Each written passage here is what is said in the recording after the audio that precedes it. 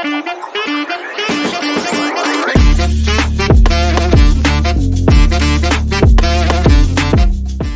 morning, good day, good evening, wherever you are listening to this video. Just had the thought inspired people inspire. Inspired people inspire. Inspire others. When we're inspired and somebody else sees our inspiration, it often leads to them being inspired. Not because we had an agenda for them to be inspired. I mean, we could, but the reality is, is like when I see someone who's dialed in, connected to what's important to them, looking at where they want to go, and really starting to build the momentum and the steps towards it, that inspires me. This video is provoked by and inspired by someone I'm working with right now. And he's leaning in. He's saying, you know, I want to change some things. I want to build some momentum in my life. I want to go in a new direction.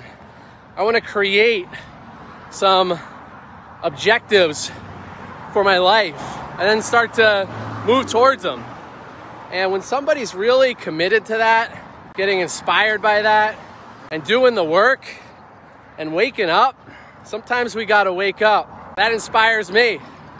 I just was watching the Tour de France on Peacock and the Tour de France, for those of you who don't know, is a multi-stage bike race in France. One of the most famous, if not the most famous, bike races there is on an annual basis.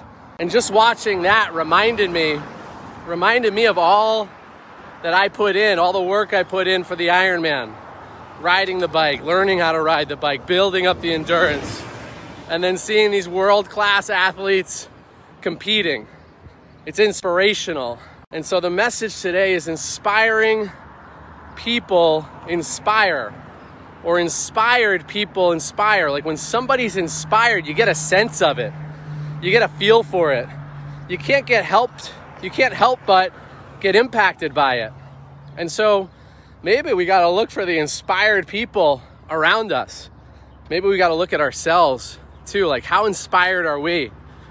This past week in the community, we talked about going from ignition, like igniting passion, to empowerment, to choosing, choosing the path forward that we want to take, and then equipping, equipping ourselves with the right tools, the right resources, the right guidance, the right community, and then going, getting out there and not thinking about it, but being about it, being that person being that cause, being that thing that we said we wanted to ignite. It's ignited. We've chosen it. We're empowered. We've got the right tools. It's time to go. Inspired people inspire. Inspired people inspire. Are you inspired? If you are, you might notice people around you also getting inspired. And then what do we do? We create a little windfall. We create a little ripple effect. We're now all around us, our community, our family. People are like, something's up over here. They're drawn to the flame. They're inspired. They start waking up. And all kinds of crazy things start happening. So if you're not inspired, maybe find someone who is. Gravitate towards them. Get a little of their fire, their inspiration, and then build your own. Have a great day.